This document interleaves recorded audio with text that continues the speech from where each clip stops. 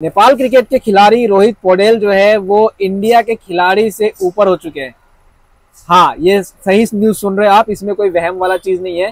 रोहित पौडेल ने यहाँ पे इंडिया के खिलाड़ियों को पीछे छोड़ दिया है रैंकिंग के मामले में। और ये जो आप लोग यहाँ पे कल तक रोहित पौडेल को हेट दे रहे थे क्रिटिसिज्म कर रहे थे उनकी कप्तानी को लेके उनको ये कह रहे थे कि उनको आ, अच्छी कप्तानी नहीं आती फाइनल में जाके वो मतलब गलत डिसीज़न लेते हैं। ठीक है, आप लोग का भी कहना ठीक है, इसमें कोई गलत चीज़ें नहीं है, लेकिन आज आप ये चीज़ सुनोगे ना तो आपका दिल खुश हो जाएगा।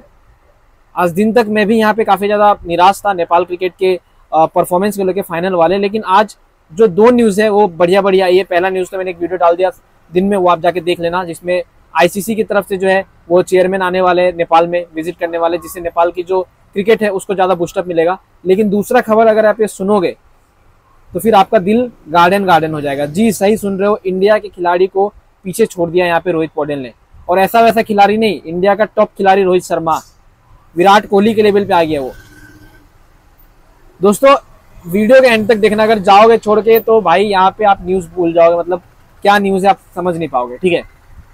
थोड़ी सी यहाँ पे रोहित पौडेल की इनिंग को लेकर बात करते हैं। फिर मैं आपके आगे बताता हूँ कि रोहित पौडेल ने क्या कारनामे किया कितनी बड़ी कारनामे जो है उसने कर दिया है। इंडिया से कैसे वो आगे निकल गया इंडियन खिलाड़ी से कैसे वो आगे निकल गया, ये मैं आपको बताऊँगा। देखो, रोहित पौडेल को सब कहते हैं कि भाई वो टी ट्वेंटी आई का प्लेयर नहीं है। सबको ये लगता है कि रोहित पौडेल जो है वो टी ट्वेंटी आई में अच्छा नहीं खेल पाते, लेकिन रोहित पौडेल का अगर आप स्टेट्स उठा के देखोगे टी ट्वेंटी आई का तो बहुत अच्छा स्टेट्स रहे रोहित पौडेल का। मतलब पास्ट की अगर मैं बात करूँ तो बहुत अच्छे रन जो है रोहित पौडेल ने मारे हैं। और उसी को लेके जो है मैं यहाँ पे बात करूँगा कि रोहित पौडेल जो है, उसने टी ट्वेंटी आई में एक ऐसा कारनामा कर दिया, जिसे सुन के आप यहाँ पे खुश हो जाओगे as a Nepal cricket fan आप जो है बहुत ज़्यादा खुश हो जाओगे।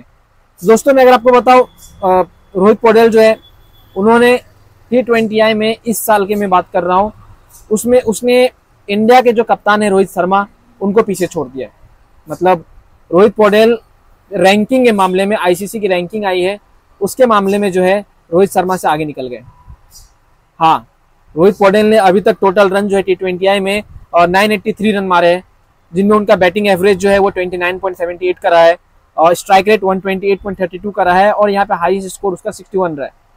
तो Rohit Paudel one of the great player अभी आप कह सकते हो रोहित पौडेल को नेपाल की तरफ़ से, कि भाई उसने इंडिया के खिलाड़ी रोहित शर्मा जो है, उनको सरपास कर दिया। अगर मैं आपको रैंकिंग की बात बताऊँ तो रोहित पौडेल जो है, वो फोर्टी नाइन रैंक पे है, और विराट कोहली जो है 48 रैंक पे है, रोहित शर्मा जो है 51 रैंक पे है।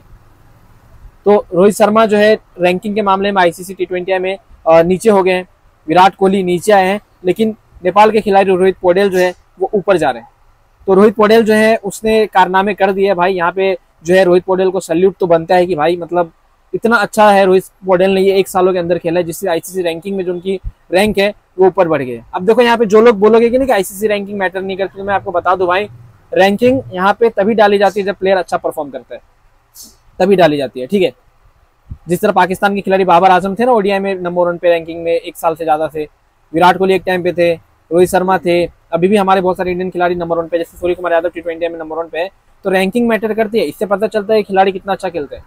तो आपको रोहित पोडेल को जो है ना, वो थोड़ा सा यहाँ पे कॉन्ग्रेचुलेसन कहना चाहिए। भले कप्तानी में उसने लास्ट मैचेस में अच्छा नहीं किया, चलो ठीक है, मानता हूँ, गलती हो गई, लेकिन रिकॉर्ड तो बना है भाई नेपाल। नेपाल का फ्लैग जो है ना वो रैंकिंग में दिख रहा है आपको 49 नंबर पे जाके आप चेक कर लेना वो दिख रहा है। और वो सबसे बड़ी प्राउड की बात होती है किसी भी खिलाड़ी के लिए।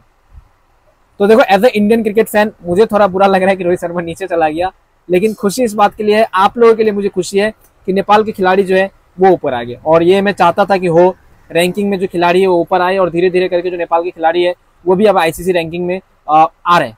मतलब पहले बहुत रेयर होता था लेकिन अब तो भाई कभी कुशल भुरतेल को देख लोगे कभी दीपेंद्र सिंह एरी को देख लोगे कभी रोहित पटेल तो अभी आ ही गए तो ये चीज़ है। बाकी देखो दोस्तों ये बहुत बड़ा गुड न्यूज़ है जितने भी नेपाली क्रिकेट फैंस हो। और इंडियन क्रिकेट फैंस से मैं कहना चाहूँगा कि भाई हमें कॉन्ग्रेचुलेसन कहना चाहिए सारे नेपाली फैंस को कि भाई रोहित पटेल जो है वो आए हैं रैंकिंग के रैंकिंग में ऊपर।